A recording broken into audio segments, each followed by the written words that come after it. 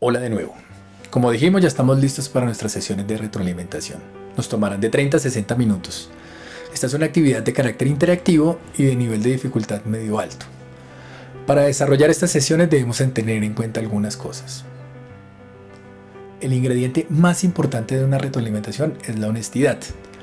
Y a veces las personas pueden sentirse intimidadas o tímidas de dar una expresión sincera de nuestro prototipo porque piensan que el equipo está muy comprometido y ha trabajado bastante en ello.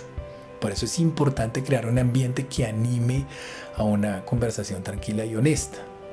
Una de las cosas que debemos aclarar es que es solo un prototipo y que todavía está en desarrollo.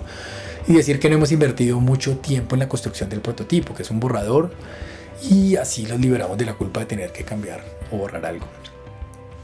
Si es posible, y si así lo hicimos, entreguemos diferentes versiones del prototipo para animarlos a que comparen y contrasten y saquen lo mejor de cada uno.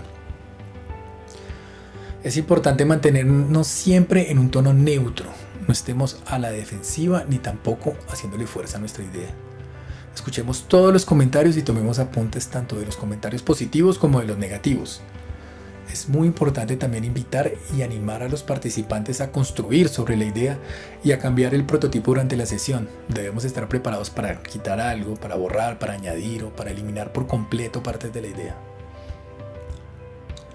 Podemos utilizar las páginas 68 y 69 del Designer's Workbook para facilitar a los participantes el proceso de retroalimentación. Esta plantilla tiene básicamente tres cuadros en los que los participantes deben escribir qué desean conservar del prototipo, qué deberíamos mejorar o aumentar en nuestro prototipo y por último qué deberíamos o a qué deberíamos restarle importancia o eliminar definitivamente de nuestro prototipo.